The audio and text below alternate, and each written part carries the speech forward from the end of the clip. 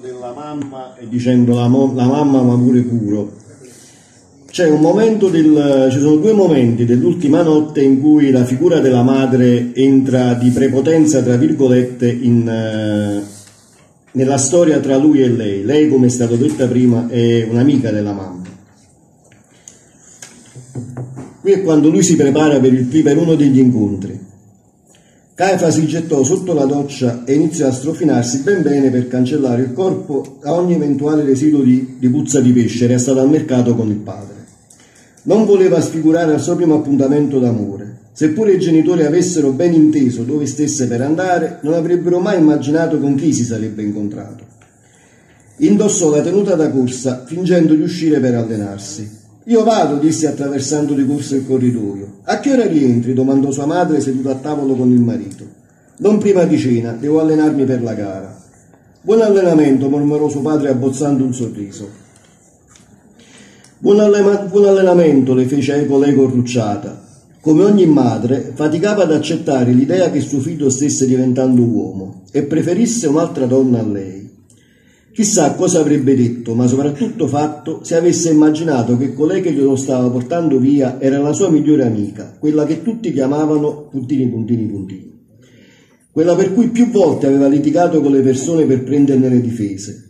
Solo lei sapeva quanto dolore e sofferenza aveva patito Miriam nella vita e non accettava che nessuno ne parlasse male.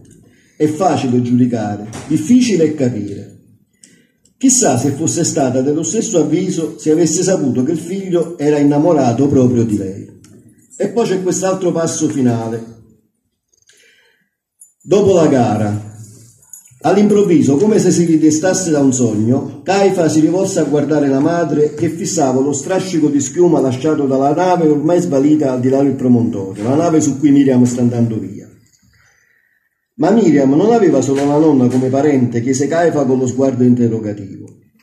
Lei fece di sì con la testa.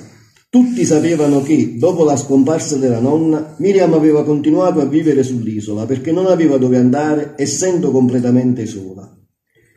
In quell'attimo lui comprese che Miriam stava fuggendo da lui, avendo così la conferma che lei lo amava davvero, cosa che lui invece ancora non era in grado di poter affermare. Solo vivendo l'avrebbe scoperto.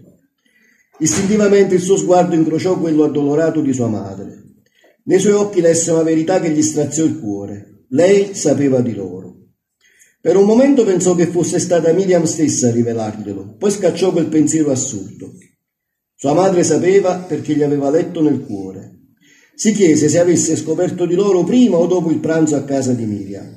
Poco importava, quel che era certo è che avrebbe portato con sé nella tomba il loro segreto. Secondo voi, se vostra madre scoprisse che siete innamorato di una persona più, più grande di voi, cosa direbbe? Eh. eh.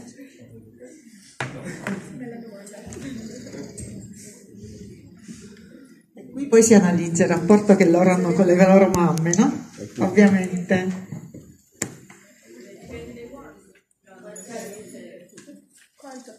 Adesso sono anche vent'anni, anche vent'anni.